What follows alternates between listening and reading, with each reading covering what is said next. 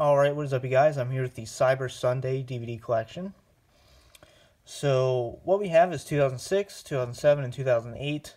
Obviously, we had Taboo Tuesday in 2004 and 5, and then it changed to Cyber Sunday. So, 2006 is where we begin here. Um, I like this artwork. You have John Cena, Booker T, and Big Show, all three champions with the gold highlighted. Um, same with his crown, which is pretty cool. There's your logo, and this was a Raw pay-per-view. Take a look at the spine. Decent artwork. okay, so obviously what they did was it was your basic voting, you know, like Taboo Tuesday was, where people would vote. Um, WWE.com, you could do it through AT&T, and you know you'd vote for referees, opponents, stipulations, stuff like that. But we had Umaga versus Kane. We had your Texas Tornado Tag Team match. Uh, Jeff Hardy versus Carlito for the IC title. D-Generation X versus Edge and Randy Orton with special guest referee Eric Bischoff. Lumberjack match, well, Lumberjill match, I guess you should say. Mickie James versus Lita. Ric Flair and Roddy Piper versus Spirit Squad. And then John Cena versus King Booker versus Big Show in a triple threat match, champion of champions match. So um, it was actually for the World Heavyweight Championship. So kind of strange. I guess you picked whose title was on the line. But there we have it. You have your description. And runtime of three hours. Open her up. You do get an insert. Very cool disc artwork. I do like that. And then you actually have the logo in the background on the insert there, which is pretty cool. Nice little touch there. So overall, great, um, great artwork on that DVD, and it's not, it's actually not a bad event.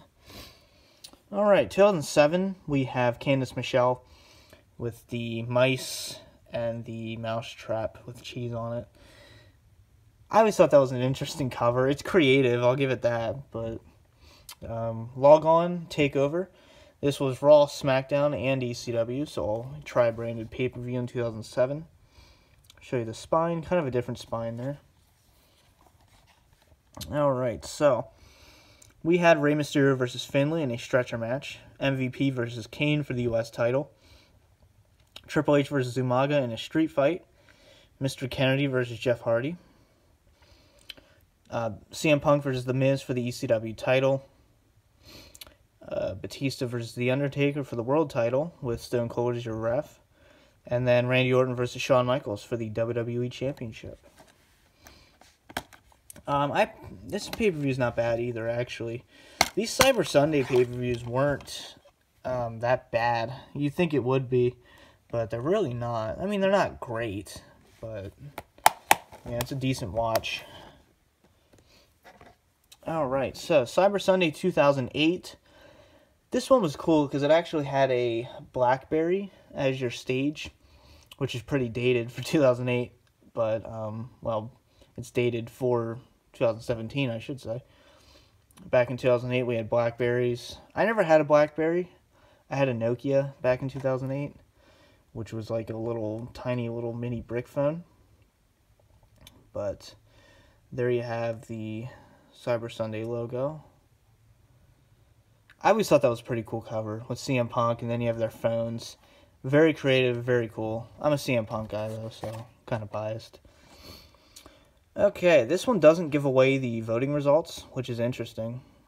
Um, we have Triple H versus Jeff Hardy. I'll give away the results, sorry. Triple H versus Jeff Hardy for the WWE title. Chris Jericho versus Batista with Stone Cold as your special guest referee. Um, Matt Hardy versus Evan Bourne for the ECW title. Kane versus Rey Mysterio. I believe it was a, I think it was a no holds barred match. Santino Marella versus Honky Tonk Man, I believe. Undertaker versus Big Show in a last man standing match. Would have been interesting seeing I Quit match between them.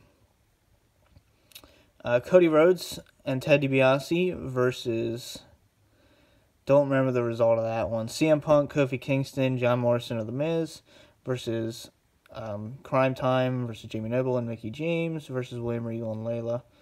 So, um, yeah. And then you have your Divas Halloween costume contest. And then we have Shelton Benjamin versus R-Truth in the previous previous preview match for the United States title. And then you also have Honky Tonk Man, Roddy Piper, and Goldust arguing backstage.